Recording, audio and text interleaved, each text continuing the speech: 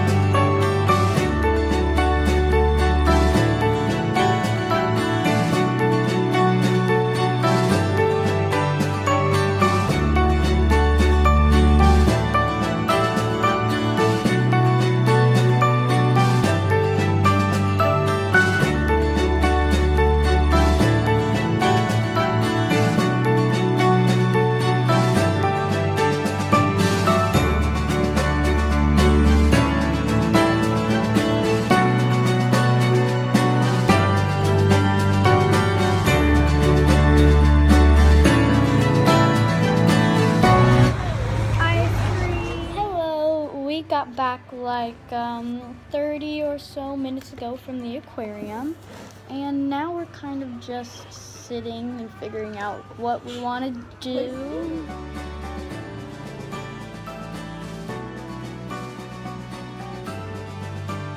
Hello, that's the end of today's vlog.